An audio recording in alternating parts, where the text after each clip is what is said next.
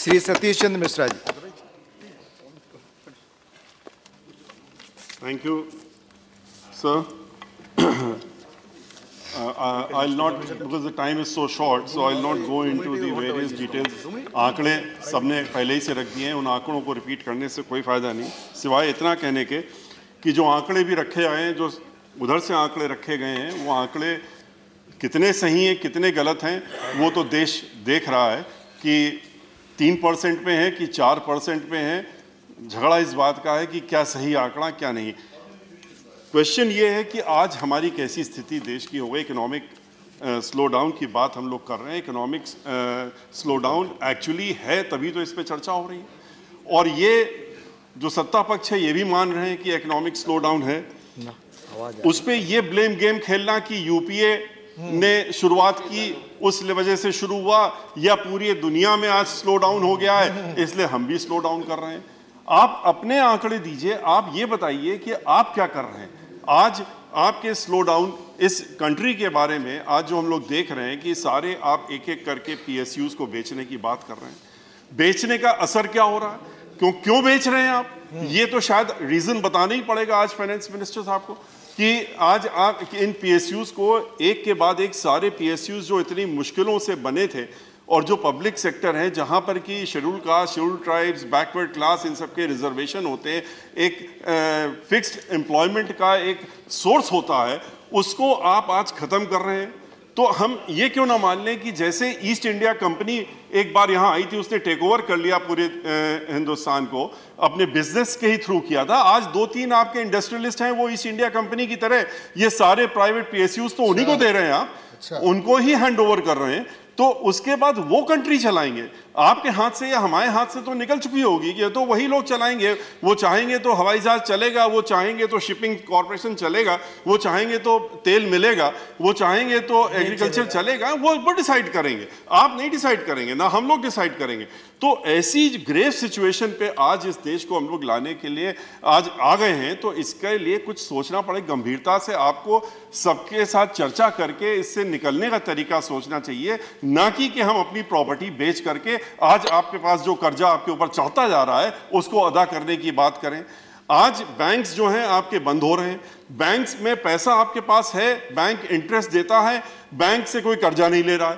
कर्जा नहीं ले रहा है तो उनको इंटरेस्ट मिल नहीं रहा। They not getting the interest to the banks slowly slowly like NPS ये बैंक भी बंद हो रहे हैं।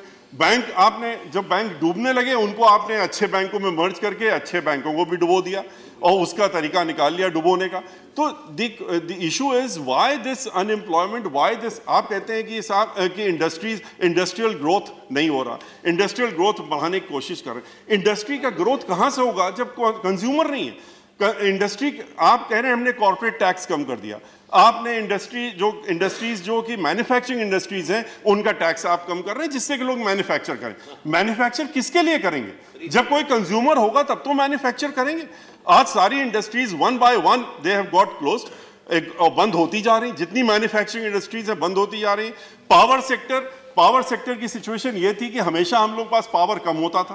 प्रोडक्शन हम लोग जितना करते थे, बढ़ाते आते थे। इस कंट्री में बढ़ रहा, बराबर बढ़ रहा था। ग्रोथ हो रही थी पावर प्रोडक्शन की। लेकिन फिर भी शॉर्ट पड़ती थी। क्यों? क्योंकि इंडस्ट्रीज़ बढ़ती रहती थी। इंडस्ट्रीज़ ग्रोथ हो रही थी। लोगों की डिमांड चल रही थी। डिमांड हो रही थी। पावर शॉर्टेज हो रही थी। आज के रोज पावर इंडस्ट्रीज़ बंद हो रही है। पावर जो प्रोडक्शन इंडस्ट्रीज़ हैं, वो बंद हो रही हैं। इसलिए बंद हो रही हैं क्योंकि पावर कोई लेने वाला नहीं। पावर लेगा कौन? जब इंडस्ट्री है नहीं तो पावर कहाँ से लेगा? तो इन सारी सिचुएशन को देखते हुए, जो आज अनएम्प्लॉयमेंट है, जो फार्मर्स सेक्टर है, जब फ़ार्मिंग सेक्टर के लोग हैं, वो परेशान हैं। शेड्यूल कास्ट शेड्यूल ट्राइब्स जो लोग जो गरीब आदमी खास तौर से, जो कि इन सब चीज़ों को, जिनकी तरफ़ आप आप तो देशभक्ति या, बहुत अच्छी बात, देशभक्ति होनी चाहिए। आप कहते हैं हम गिनीज वर्ल्ड में जाते हैं, दिया जला करके ज़रूर जाइए। लेकिन पैसा किसका खर्चा हो रहा है? पैसा तो हम लोगों का हो रहा है तो आप जिस गरीब आदमी को आप दे सकते हैं उसको आप चाइना से ला के दीपक जला करके गिनीज वर्ल्ड में जाते हैं आप यहाँ के कुम्हारों से दीपक बनवा लेते तो शायद कुछ गरीबों का भला हो जाता उनके यहाँ कुछ दीपक जल जाता दिवाली में अंधेरा नहीं रहता लेकिन उसकी जगह आप चाइना से ला करके बत्ती जलाते हैं लाइट जलाते हैं सामान जलाते हैं यहाँ की इंडस्ट्रीज़ को आप किनारे कर रहे हैं। तो मेरा सिर्फ़ आपसे ये आपके माध्यम से इनसे ये कहना है कि अपना एक्स्ट्रा वेगन्स खत्म करें। थोड़े खर्चा कम करें, खर्चे कम करके फोकस करें। आज मूडीज ने इनकी रेटिंग इंडिया की गिरा दी है तो इस पर ध्यान दें कि ऐसी सिचुएशन आज आ गई है। इससे ज़्यादा और वर्ष आ जाएगी तो क्या होगा? ये कब तक मीडिया के सहारे चलेंगे? मीडिया को पैसा कितना देते हैं? एक बार ये भी आंकड़ा आपके सामने आना चाहिए।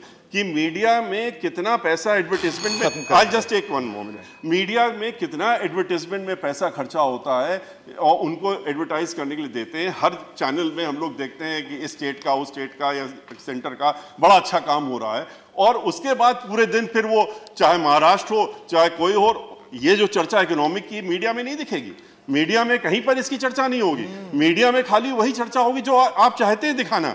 तो कब तक दिखवाएँगे? कब तक लोगों को आप मन भटका के रखेंगे? जो गरीब आदमी जिसका जो भूख से मर रहा है, जो अनएम्प्लॉयड है, जो आज तरह तरह की एक्टिविटीज़ में इन्वॉल्व हो रहा है, आज लूट हो रही है, डकैती हो रही है, आज एक्सटॉर्शन हो रहा है, इसके पीछे कारण क्या है? अनएम्प्लॉयमेंट तो अनएम्प्लॉयमेंट अगर आप नहीं खत्म करेंगे तो इस तरह से खाली मीडिया का इस्तेमाल करके या और तरीकों से इस्तेमाल करके लोगों का मन भटका करके ध्यान भटका करके आप ज़्यादा दिन नहीं चल पाएगा। इस पर गंभीरता देखना चाहिए। आपने रिफॉर्म्स कुछ लाए जीएसटी वगैरह में आपको ये भी देखना चाहिए कि रिफॉर्म्स अगर आप लाए वो इंप्लीमेंट हो भी रहे वो ग्राउंड लेवल में आपके अधिकारी किस तरह से उसको इंप्लीमेंट